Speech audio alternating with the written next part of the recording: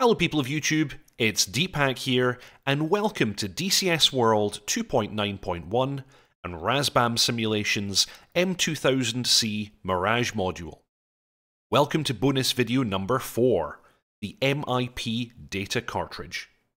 This is a feature I actually didn't know anything about until a VAF member called Fumes pointed out to me.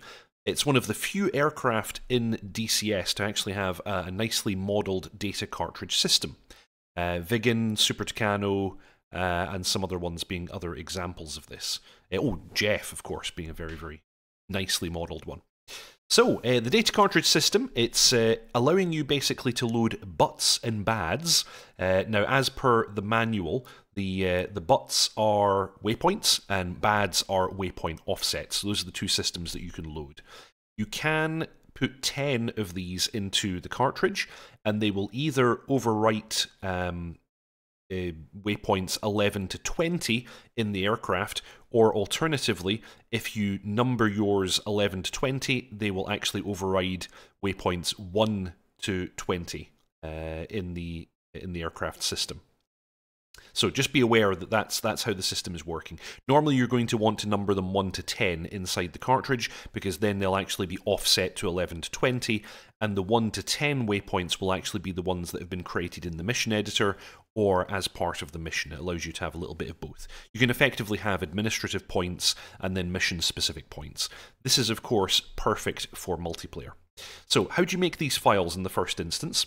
If you're in your DCS World folder, your main installation folder, and you go into Mods, Aircraft, and then M2000C down here, if you go into your documentation folder, you'll see that this includes an example DTC. So if we go ahead and open that up, um, I don't have the right thing associated. Oops. Let's uh, actually open it with Notepad++. Here we go. So this is the example file, and this mostly tells you how to make these.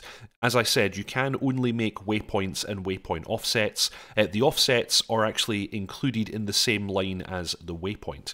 There's a bunch of these parameters that you can enter. They're probably going to seem somewhat nonsensical, but if you look at the manual, the manual has a section about the data cartridge and it explains what these are. You can enter lat long, altitude, CP is the the parameter for runway true heading, PD for the approach glide slope, TD for desired arrival time, RD for arrival track, and then you have the delta of your lat and long for making an offset, and the delta of the altitude for the, the offset. Uh, and then it describes how to load those. If I jump back into uh, the example DTC, you'll see that this one actually has uh, an example here of uh, an offset. It's a little bit complex, but I, I, recommend taking a look at that. So I've got this example one. I've also got one that was created by Fumes uh, for VAF usage on the Syria map, uh, and it has named waypoints for you know standard airfields that we use, uh, and nicely he's included uh, the approach heading and the glide slope. This means that we will get the artificial runway overlay on the HUD, which is very, very nice. So let's jump into the aircraft and I'll demonstrate how these are loaded. Okay, so now you join me in the cockpit and I'll go over the procedure for actually making use of the MIP when you're inside the aircraft. Uh, MIP, by the way, standing for Module d'Insertion des Parameters. Parameters, something like that. Uh, but basically the, the French form of, you know, module that contains parameters. Uh, so, data cartridge. Uh, so uh, we have booted up the aircraft. So it, it, I'm basically, uh, I had a cold start. I've turned on the battery. I've connected ground power because you need either ground power or the generator to operate the INS. Uh, and I've turned on the HUD. And apart from that, I've done basically nothing. Well, I've also aligned the INS, so the, the system is ready to use. You don't actually have to align the INS in order to load the MIP. However, the INS needs to be powered, and it can only be powered by a running engine, the generator, uh, or the ground power. So if we go ahead and open up our kneeboard just now, and we page a couple across, uh, we're going to see that we have the current waypoints that we have right now. Now, a 1 to 10 by default are coming from the mission file. These, in the real aircraft, these would be loaded into the memory of the INS. These are effectively permanent. Um, well, you know, they're loaded by the ground crew. So as far as the pilot is concerned, they're permanent. We have um, you know, we could edit these, but when we power on the aircraft, they're going to be, you know, as they were set by the ground crew.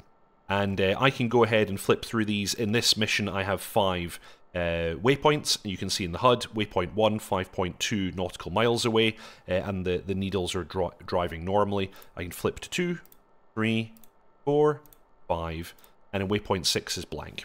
So 6, 7, 8, 9, 10 are all blank. In this particular mission, they're not used. I can now go ahead and load my MIP. My MIP contains 10 waypoints. They will appear um, on the 11 to 20 section. And we can do this by looking down at the control panel here. And we have this MIP data cartridge slot in between these two uh, mode selector uh, switches for the INS system. So not on the PCN, further aft on the right console, I can right click on this slot and then I will have a data cartridge just hanging in the air here and I can choose which one I want. Test is actually the one that I copied from the documentation folder. This is the example one. If I roll my mouse wheel over it though, I can go to the one that uh, Fumes very nicely created for us, labeled VAF Cyprus. So yeah, mouse wheel to flip between these uh, it's very cool the way they're labelled like this. I can then left click to position it over the slot, and I'm just going to move my camera so we can also see the PCN, because if I left click on the cartridge again, it will be inserted and you'll see MIP light is now lit.